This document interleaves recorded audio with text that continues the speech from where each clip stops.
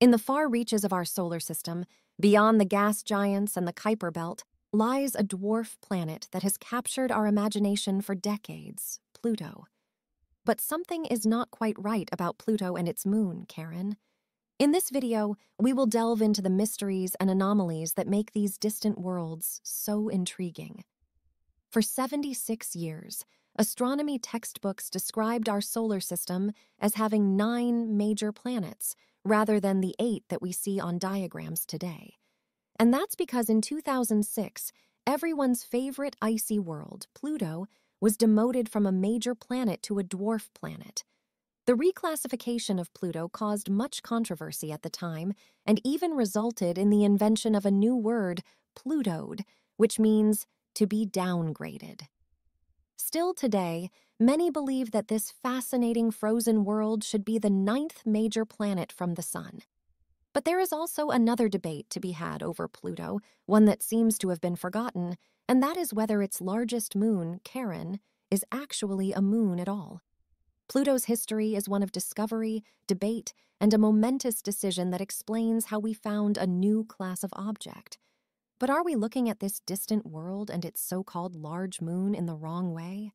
Is Pluto and Charon instead our solar system's first double planet system? Pluto is classed as a dwarf planet that is located in a region called the Kuiper Belt. Its features include red snow, blue skies, incredibly tall mountains, and heart shaped glaciers. It is considered one of the most interesting objects in the solar system, but its largest moon, Charon, which is often forgotten about, makes the frozen dwarf planet even more fascinating. Although Pluto was discovered in 1930 by Clyde Tombaugh, Charon wasn't spotted until 1978 by astronomer James Christy. Originally, it was going to be named Persephone after the daughter of Zeus, who in Greek mythology was kidnapped by Pluto and made queen of the underworld. Christy proposed it was instead called Charon, however, after the ferryman who took souls across the river Styx to the underworld. But as he wanted to dedicate the discovery of the moon to his wife, Charlene, he pronounced it as Karen rather than Karen. Not much was known about Charon until 2015, when NASA's New Horizons flew past, revealing an unusual surface covered in surprising features. An enormous red formation blankets its north pole, which was later discovered to be a result of Pluto's thin atmosphere falling upon its frozen terrain. A spectacular canyon stretches more than 1,600 kilometers across its surface. It is at least four times longer than the Grand Canyon and twice as deep in some places. Some bizarre features were also discovered, such as a single mound nicknamed the Mountain in the Moat as it sits inside a deep hole. At around 1,200 kilometers wide, it is about half as wide as Pluto. In fact, it is the largest known moon relative to its parent body in the solar system. So, is Charon actually closer to the classification of a dwarf planet than a moon? And if so, does that make Pluto and Charon our solar system's first double planet system? Binary objects are not rare across the universe. An estimated one third of the star systems throughout the Milky Way galaxy are thought to be binary. However, double planets are expected to be much rarer.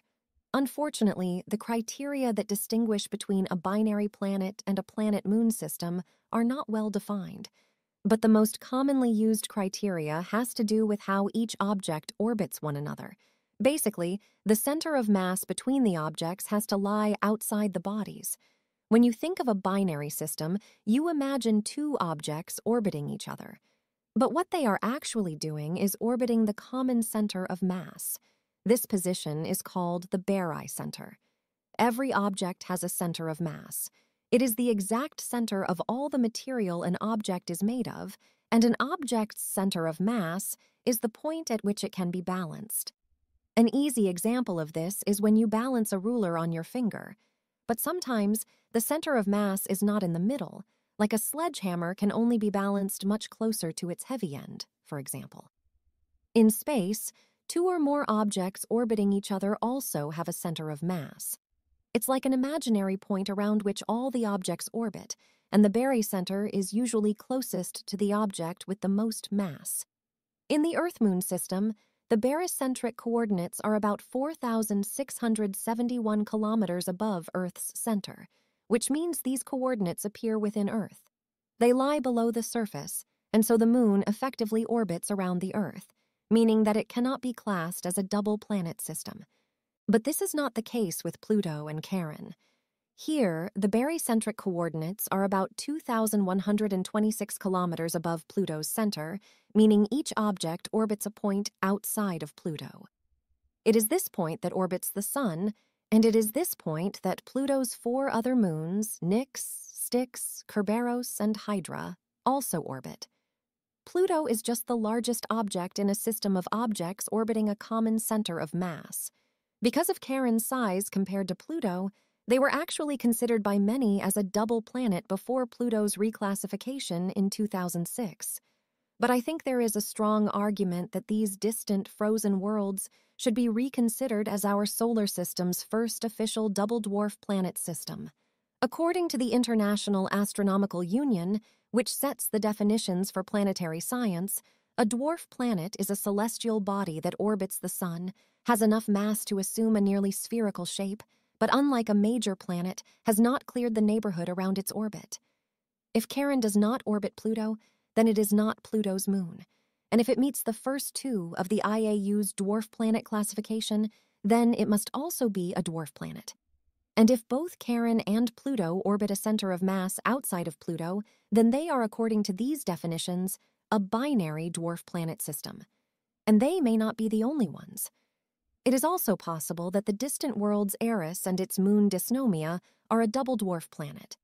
Orcus and its moon Vanth could be the same, and also Varda and Ilmarë. How these double dwarf planets, or even double planets, form is a mystery, but it is thought that much like how our own moon was created in a giant impact event, Charon could have also been created in the same way. Some large objects may have struck Pluto long ago, and tore out a blob which eventually became Charon. If the galaxy is full of binary stars, then there are possibly binary planets. Within our solar system, dozens of binary asteroids have been discovered, so why not have binary dwarf planets as a category as well? Pluto's reclassification in 2006 caused a lot of uproar at the time, but the truth is, the astronomers who voted to make it a dwarf planet were simply trying to fix a misclassification that occurred decades before. But could this still be the case?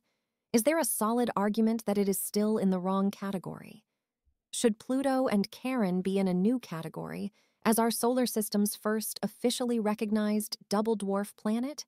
Thank you for joining us on this cosmic journey.